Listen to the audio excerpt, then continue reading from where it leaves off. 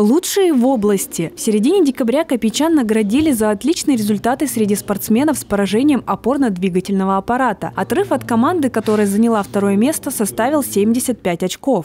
Да у нас, в принципе, получается все сферы, все, что связано было с чемпионатами, то есть это шашки, шахматы, лыжи, бадминтон, теннис, легкая атлетика, а, пауэрлифтинг, армрестлинг – и вот в каждом виде спорта у нас мы получали золото, серебро, ну, бронза была.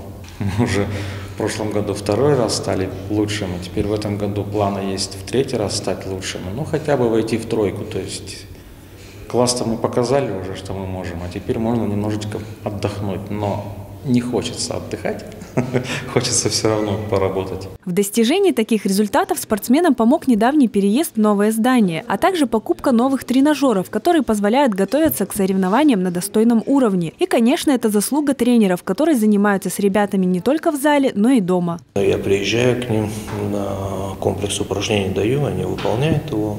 Все, я смотрю, как они выполнили. И даю новые задания. Они дома делают некоторые колясочники. Да, кто-то в Челябинске у нас живет, хотя в обществе состоит, кто-то еще дальше. Уже воспитали двух мастеров спорта, это с нарушением зрения. Кандидатов мастеров спорта уже воспитали 7 а, или 8.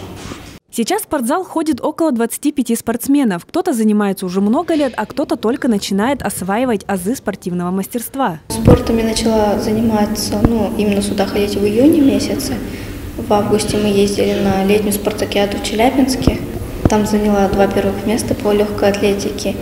И в сентябре мне пришлось прекратить тренировки вот до января месяца, так как попала в больницу, долго болела. Вот с прошлой недели начала опять заниматься. Сейчас вот я армрестлингом буду заниматься и пауэрлифтингом.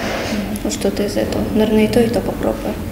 Пока что вот силовыми тренировками только. Сюда хожу, занимаюсь два раза в неделю. Сейчас спортсмены готовятся к чемпионату России. Он будет проходить в начале февраля в Ярославле.